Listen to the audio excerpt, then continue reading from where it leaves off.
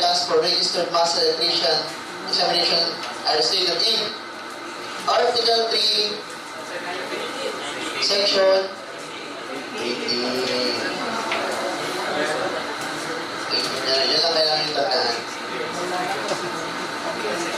Itong tanong ko pala. Ah, may bahay ka, isang ilaw lang ang mapakabit mo. Sinong kailangan pumirma? Pwede mo pumirma ka Isang ilaw lang. Na plano, plano, plano, electrical plan. Gusto ko ng ba, electrical plan. Isang ilaw lang is, isang ilaw lang talaga. Eh, isang ilaw lang eh. Ari, pwede mo merma? Ano? Ari, pwede mo merma? Isang ilaw lang. Ha? Isang ilaw nga lang eh. Ang ilaw lang, ano? Yung pang... Yung panguli gabese. Sisiw. sa electrical plan. Pansisiw yung pansisiw. Sige, pansisiw. Sa electrical plan. Okay, pwede yung ari, ari, ari, ari, pwede? Pwede yung ari, Hindi, PE yan, kahit anong ilaw yan. Basta electrical plan, solely pang PE lang. Kahit sa outlet lang. Basta electrical plan, basta plano. No? So, malilito ko yung pag-alam kung isang ilaw lang, may maganda ko, isang isang ilaw lang. Basta electrical plan, professional electrical engineer. Ako ba? Ayan.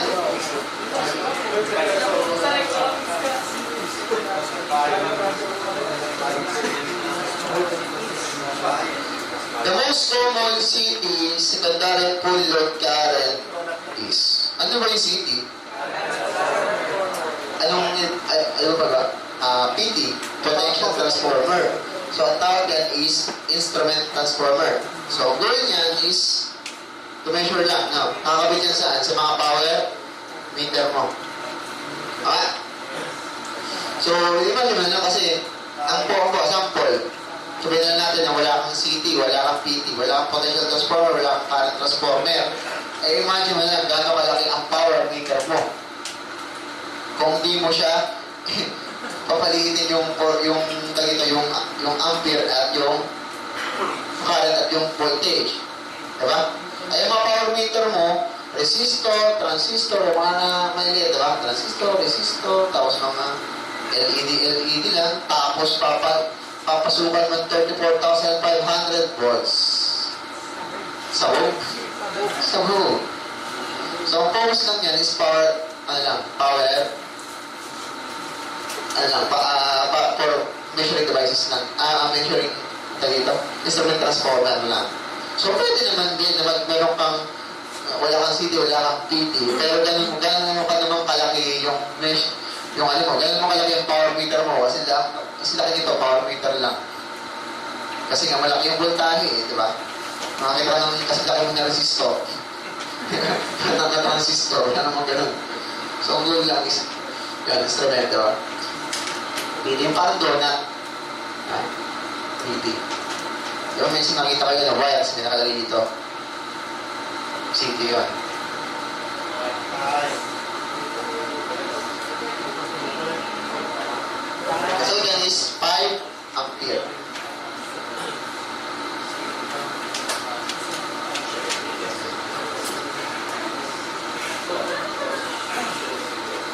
So 80. The minimum acceptable resistance for 460 motor is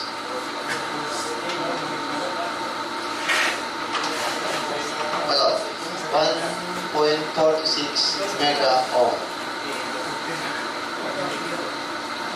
Pag 220, 1.22 mega ohm. Pag 440, 1.44 mega ohm.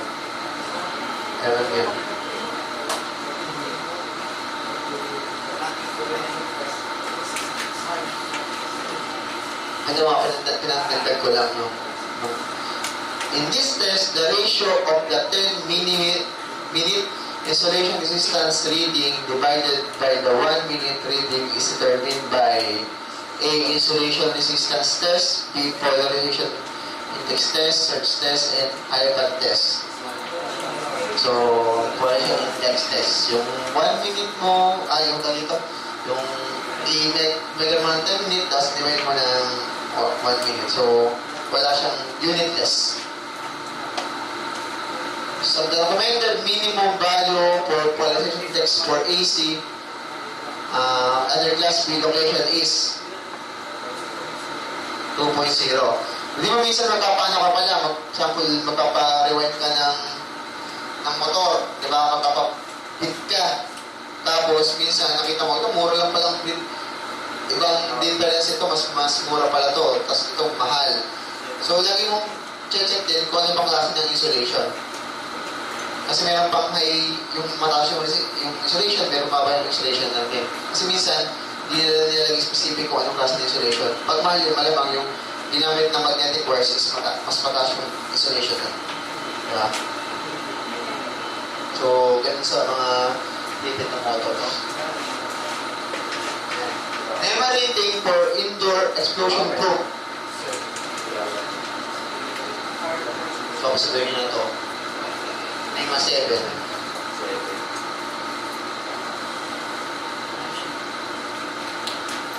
Mga ano yun, mga uh, kalamang, mga kalamang. NEMA ratings for indoor gas ignition proof. NEMA 9. Na kaya kung kabasado mo rin, ilagay mo na rin sa ano eh. Ilagay mo na rin sa pag, di ba, sa unang kat katabi ng wiring table, dito may makana yung mana yung makana, ilagay mo na kaagad. Para pag sakaling, yan o, oh, sa likod. Kasi mahirap, eh, mahirap ng i-recall yan pag nakapagbasa ka ng ibang mga, prob ibang mga problem, sigurado yun. Ha? Sa, ano? Hindi, makita mo sa internet. Yan. Data yan sa PEC. The capacity of 22 mm square gauge and copper wire at 30 degrees C ambient temperature is 85. Yan, to. The most common types of exposed wiring is type AC armor cable, commonly known in the small sizes may trade name RX, ano yan, sa Toto. Tayo, Yes.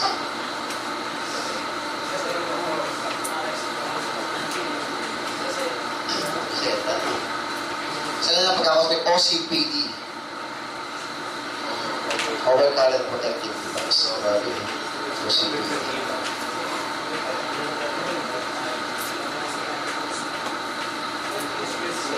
It provides information on uh, installation, strength in these cells. It can detect insulation weakness that are likely to fall to ground if subjected to high transient voltage surges that only occur in industrial power system. iPad test.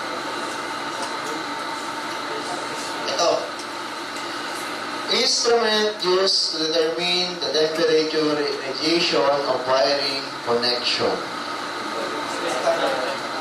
infrared scanner, thermocouple, at ED thermometer.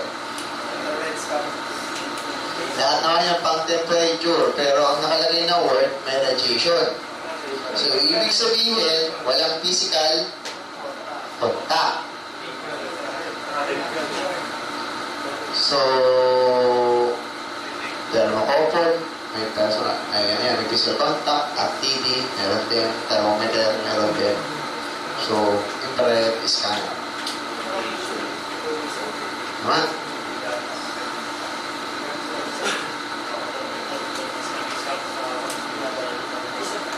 Tututok mo lang yan. Parang, ano yun, ano yun, kay dito. Yung dati nagkaroon ng sakit, yung, ano ba yun? Yung SARS ba yun? Yung pag, pag pumapasok sa sa sa school, minsan tinututukan ka dito sa tenga ng ano, kung may ito, hindi. Ganun yun. Sa ito, tatanong ko naman pala. Oo. Ikaw, tanong ko. Di ba minsan may nakikita kayong wire? Nausapan na rin yung temperature. Minsan may, may, meron kayo nakikita motor pala. Yung motor, ito mo sa motor yan. May uh, three-phase motor. May tatlong wire. Mayroon pa isang wire. Mayroon pang isang wire. Ano yan? Five-phase? Hindi. Three-phase motor lang. So, ito yung pang A mo, pang B, pang C phase. Uh, line 1, line 2, line 3. Ito yung pinaka ground mo. Ang kulay ng ground, ang kulay ng ground. Green, yellow. No.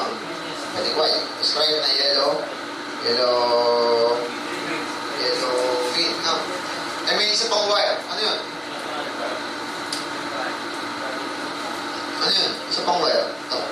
Maliit lang na wire yan. Ano? O, yun. Ayun, maliit na. Thermistor, protection yan. Pag nag-iinit, automatic, tumitigil yung protection. Thermal protective. Thermistor. Sabihin, thermal resistor. Ano? Protection mo sa motor. Pwede yan, automatic mo sa sa pwede nga sa sa mga overload. Ganun. Overcurrent po. Ay, may po. Kaya. Kaya na sa loob na. The worst possible case of voltage unbalance in electric motor is, nasa eh? Single phasing, double phasing, overcurrent, all of the above. Wala man such thing na double phasing. So, double phasing, tanggal. Ibig sabihin, all of the above, mali. So, single phasing lang ng overcurrent.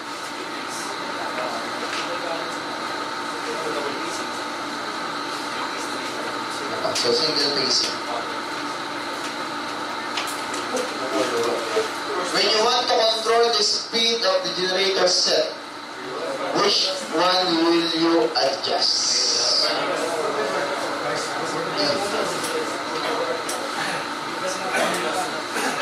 Masagot.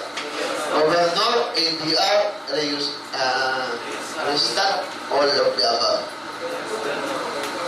Ano yung sino ng Automatic voltage regulator. So alam mo naman, hindi siya pang control ng generator set. Yun yung ilalagay natin sa mga computer, sa mga, ano sa mga rep, para yung protection din sa atin eh. Para yung pumasok sa'yo na kuryente, literal, mas term lang din ah. Para yung pumasok sa'yo na, na kuryente is sala-sala. Di ba? Kasi madumi yung kuryente yung papasok. So, bro, talaga po, 20 talaga agad mapasok na, na, na voltage na. So, ano yung sagot mo dyan? So, hindi yan mali. So, automatic yung all of the above. Eh, so, ang sa tamang sagot dyan, generator set is a governor. Ito. So, pag nagkapalitan, uh, yung register, alam mo ito yung hawak ng, ano, ng, sa LRT. So, binabara niya lang is uh, speed. Para bari speed, babari yung resistance. So, medyo, ano yun, malabo yung paliwanag niya. Kasi alam, register ng hawak ng sa LRT. Para mo resistance, babari yung speed mo. Ito, di ba nagkapalit ka ng generator set? Sa generator set, ba, hindi, hindi niya kaya ng isang generator. Kailangan ko ng tatlong generator para masuplayan yung ako experience ko sa dati ako nagtatrabaho sa San Miguel. Meron kaming tatlong generator set na pinapaandar. 2.5 tatlong generator set, 2.5 MVA. Tatlo ba? Papaandar na wala siyang atoma, wala siyang ETS. Pag sabi ETS, automatic transfer switch, wala siyang ganyan kasi hindi ko alam. Rin yung planta eh. Isi-synchronize mo yan.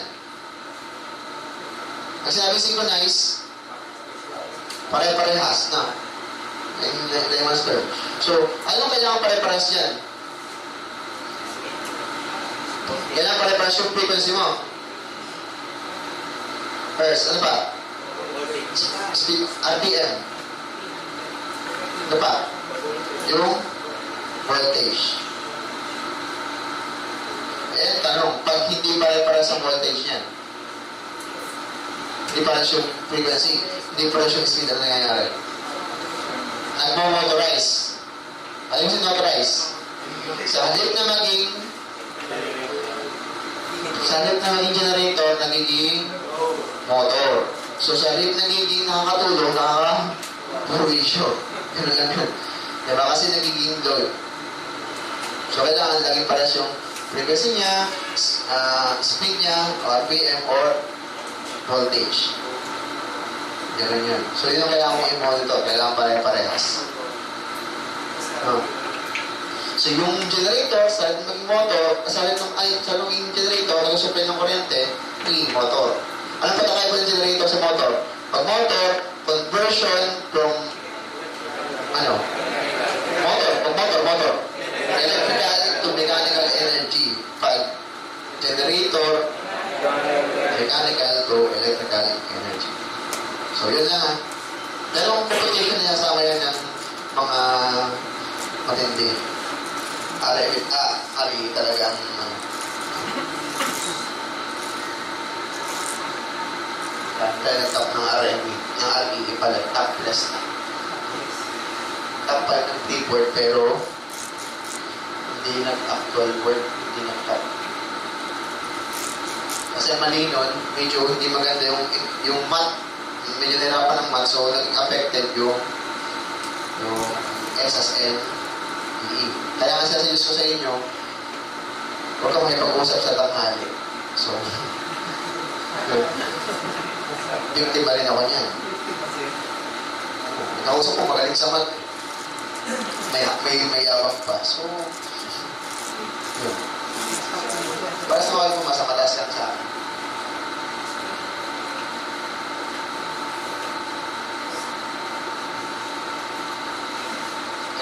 This, te this test detector the turn coil to coil face-to-face isolation defects that cannot be discovered by other methods. Test.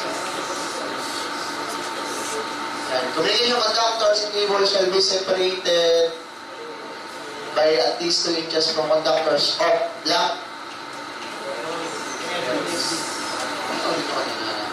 When the motor is misaligned, the trouble is defective bearing, motor vibrates, coupling out of balance, weak motor foundation, and base. So, ang ating sagutan, ano tayo? So, ito. Troubleshooting tayo. Yung consider, ang kinukuha mo lang dyan, una-una, o maandar, di ba? Kailangan, di ba, three-phase yan. Kailangan pare-paras yung current yan. So, hindi mo pwede gamitin ng amit, ng, ano, ng ammeter. Anong ginagawin yan? Wala, meter. Tama? Ng meter. So, kailangan pare-paras ng current niyan. Then, pangalawa din, kailangan mong i-check. So, alam mo ng resistance, kailangan pare-pare yan. One, line 1, line 2, line 2, line 3, line 1, line 3. Kailangan pare-pare ng resistance. Pati voltage, kailangan pare-pare ng 220. Diba? So, unang pinaka-basic na lang gawin, kailangan gawin dyan, retighten, retighten, retighten. Yan muna. No, hindi ka automatic. Um, sir, rewind, na, rewind tayo. so, wala munang 8, carbohid niya, ganun. Diba? Pinaka-basic, no? so, ano pa? Subayin so, mo lang sa mga voltahe yan habang maandar. O kaya, kaya ano, resistance kayo naman. Tapos, ganito sample. Hindi ako kayo ng sample pala. Troubleshooting din. Yan. Ayan. Sample to. Drawing lang to ah. Ang pump mo, ang pakit ng tubig mo, pupunta dito. Papunta ng pump yan. Uh, ito tangke. Para dapat ang ikot ng motor mo. Pag ganun? O pag ganun? Ito? Ito. Diba? Baas. Kasi dito. Sample. Yan. So, kung mali yung ikot ng motor, anong kailangan gawin? Pag-reverse yung yung ito, sa linya. Tama? So, kung gusto mo medyo magtagal yung trabaho mo, ang buksan mo yung terminal box ng motor. O, di yun. Pero kung bigla ka talagang madali ka, breaker yan, dyan sa load side mo, pagbalik ka rin. mga diskarte, no? Biro lang. Pero, totoo yung parehas yan. Nagabagaling yan, di ba? Mo medyo, matagal, 2 hours. One hour yun. Tama. O, imagine natin, okay na ang ikot ng motor, pero hindi pa rin nagpapump. Anong pa-holding yung problema? Umiikot naman. O, pwede rin pump. Pwedeng sirain yung pump. So, kaya naman, sa mechanical, check mo rin. Baka naman yung is sira, sira na. Or baka naman, tama yung motor, hindi naman nakakopol. Pwede ganun. Pwede ganun talaga. O kung example, motor yan, wala naman pump, mas lagi naman sa pool, uh, sa pool E-trip, pwede rin na yung motor nila, gear type motor. Tama. So, kung gear type motor naman, baka nalubog yan, kahit bagong rewind yung motor mo, malamang mag-trip pa rin yan. Kasi minsan, pag pinaha, sa amin dati sa Venezuela, almost 300 plus na motors, lumubog talaga eh. So, kaya pag namin motors, medyo dami tayo nga dyan. Ganun. So, yun. So, pacheck mo rin ang mechanical part. Hindi ikaw. So, kaya maganda, bago mo siya ipakopol, kailangan meron ka ng asphalt test na no-load test. Kung ano yung current niya, kung ano yung load niya. Para pag kinopol, ano ka na, matest mo rin siya, no? Pero okay naman yung pag no-load. Eh. No? Yan. So, mo lahat, okay naman. Eh, lahat okay, nagpapump naman. Ano, lahat okay. Mechanical part, electrical part, umiikot. Pero hindi pa nagpapump. Anong kaya ang possible na pwedeng gawin? Ano? Resign na. Resign na. Papang. Yung nakakita ka kita dito, nakakita ka dito ng tubo. Bigla mo na lang pinihit, nilabas na tubig. Titender mo to, nag-pump na. Hinangin. Nag-cavitate. Cavitation. So, baka may hangin loob, kaya hindi magpang, kaya hindi dumalo yung tubig. Dahil minsan makita may mga tubo, may mga ano yan, akala mo triple lang, pero hindi mo lalabas yung mga hangin, diba? So, magkapap na yan. Yung mga trouble, mga simple troubleshooting lang. Eh, ano ba, ito maganda. Kailangan ba laging itong ikot ng motor mo, lagi naka-full load.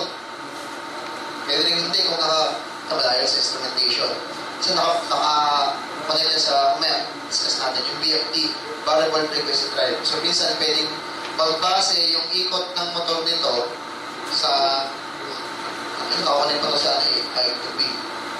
So, pag mataas ang pressure dito, ganun. Sa instrumentation na yun. So, hindi kailangan uh, laging pulo ng ikot niya. Kasi nagbabarin din. Basta nakatok, naka, naka, naka, naka, balik sa variable frequency drive. Tumatulong yun sa actual. Medyo, ano ganun na. Okay ba?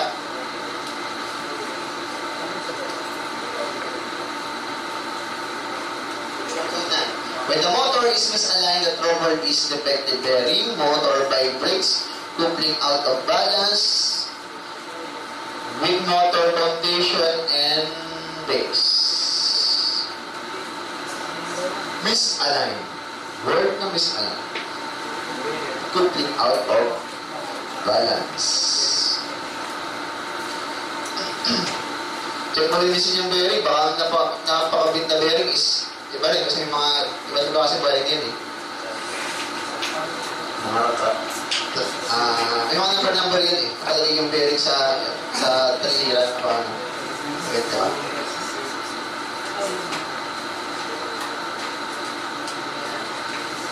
Full voltage starters or direct online starters are used in motors with ratings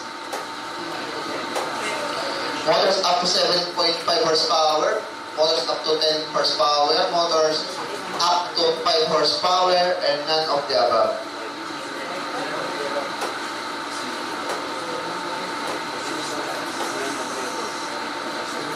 full voltage direct online. Lang. Motors up to 7.5.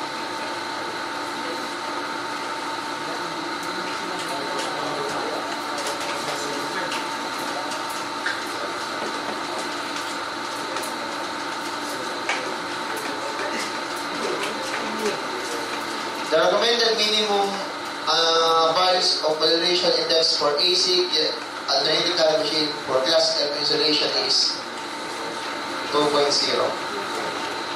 So, kung- kapag-rewind kayo ng motor, kailangan is, alam nyo na insulation. Pag mataas yung insulation, medyo mas mahal yun.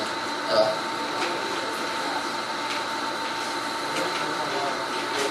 Alam nyo, nagbe-bake din ng motor. Sino may experience na mag-bake ng motor? Bake. Binibake yun. Correct? Ah, another name for VFD, variable frequency drive. AFD, adjustable frequency drive. BSD, variable speed drive. C, frequency converter and inverter. D, all of the above. All of the above. So, ginagawa dyan guys, binabari yung frequency para mabari yung speed. No? So, meron yung ano, ah, yung AC, kino-convert to DC, tapos kino-convert ulit sa AC. Uh, alternating current, direct current to, to, alternating current ulit. No? So, anong, anong tawag sa conversion from AC to DC? Rectifier, di ba? AC to DC. Inverter. So, siyempre, hindi, hindi ka naman pwedeng mag, mag-change ng, ano, ano pagkakaiba ng AC-DC? Di ba may frequency pa AC? So, kailangan mo siya i-convert sa DC para mabari mo yung voltage din. No?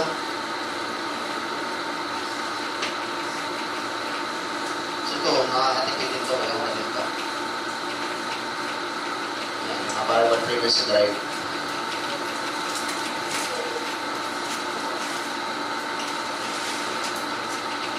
Yan sa kuryente. Mga ganyan. Kasi nilagay full load yung iba't ng motor mo. Hindi siya magbali. Nakakalit sa mga instrumentation, mga I2PP, ito ay ganun.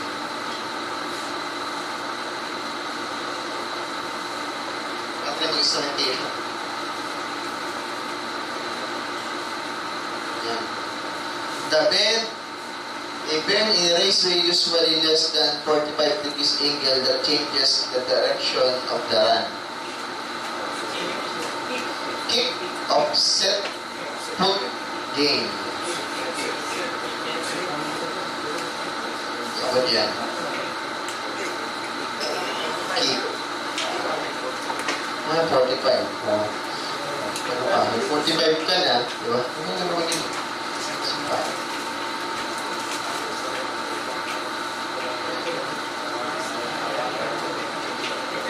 possible cause of single phasing of three-phase motor is worn out bearing, worn out contact of the contactor, low voltage, no control voltage.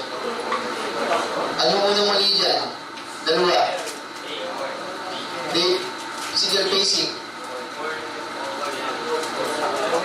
No supply voltage and no control voltage. Tama. Tama yan. Mahaba. Tama. Pero hindi yun. Hindi, hindi, hindi pumaba na. Worn out contact of the contactor. One possible cause of single phasing. So, ang contactor, pwede mo kayo gawa ng pantag o linisin mo lang. So, minsan, ano yan eh, contact lang. Resistance.